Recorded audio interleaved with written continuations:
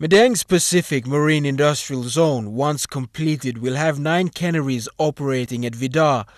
Once the nine canneries are in operation, Papua New Guinea's tuna export value will jump by 50% from 200 million kina to 400 million kina.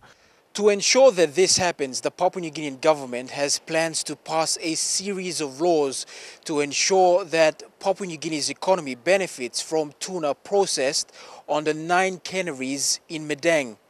But the country's deputy opposition leader Sam Basil says the national government mustn't make grand announcements and not make it happen. Any legislation that comes on the floor to ban export of raw tuna we will support. PNG's Fisheries Minister Mao Zeming made the policy announcements on Tuesday at the PMIZ launching in Madang. Starting next year, this government will introduce a policy that fishing companies that fish in our internal archipelagic waters shall process 100% of their catches in PNG.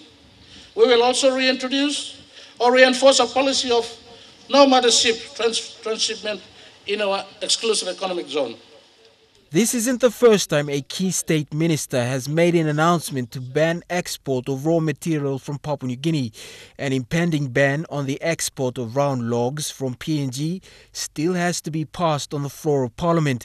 The country's Prime Minister Peter O'Neill says the government wants to create jobs for the people as the economy changes and expands. We want to uh, encourage industries uh, to get in the PMIZ area so that we can give them some concessions so they can build factories and build uh, uh, employment opportunities for our people.